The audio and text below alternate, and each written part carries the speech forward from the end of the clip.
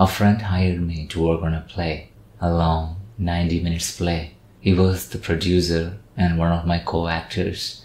My preparation for the play was making me crazy. He wanted help in getting costumes. He said something that made me mad. I said something horrible. I lack gratitude.